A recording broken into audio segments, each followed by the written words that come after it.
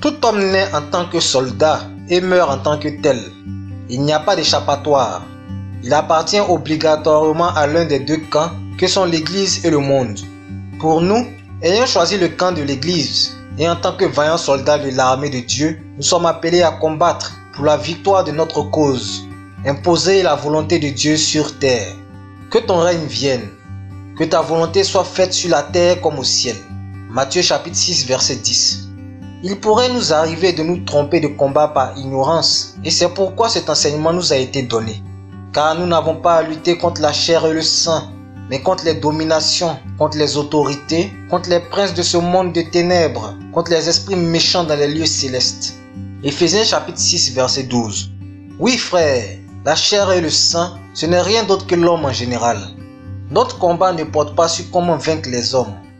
C'est pourquoi il ne faut pas tuer, ni même faire du mal aux sorciers, marabouts et autres occultistes, même si eux nous en font. Lisons ceci. Quand des méchants s'avancent contre moi pour dévorer ma chair, ce sont mes persécuteurs et mes ennemis qui chancellent et tombent. Si une armée se campait contre moi, mon cœur n'aurait aucune crainte.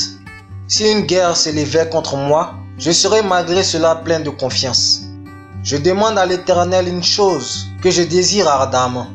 Je voudrais habiter toute ma vie dans la maison de l'Éternel pour contempler la magnificence de l'Éternel et pour admirer son temple.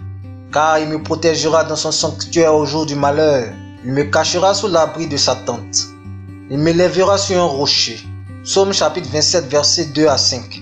Oui frère, pour tous les hommes qui complotent contre toi et qui nuit et jour méditent ta perte, ne leur fais rien, mais laisse ton Dieu décider de leur sort. Toi au contraire, demeure toujours en ton Dieu. Fais de lui tes délices et il préservera tes pieds de toute embûche.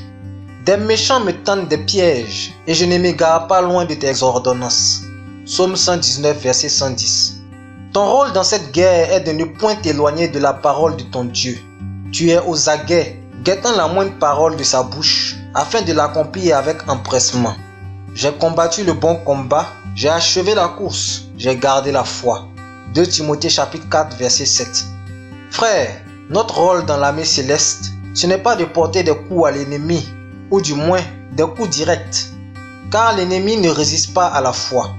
Sa cuirasse qui semble impénétrable n'est pas plus résistante que de la cendre face à ta foi.